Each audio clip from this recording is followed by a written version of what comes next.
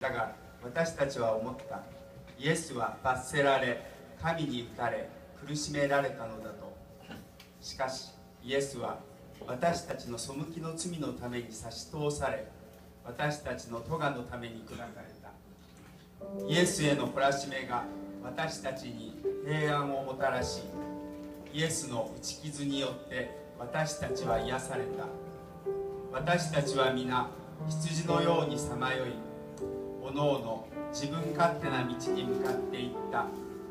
しかし主は私たちのすべての咎をイエスに負わせた。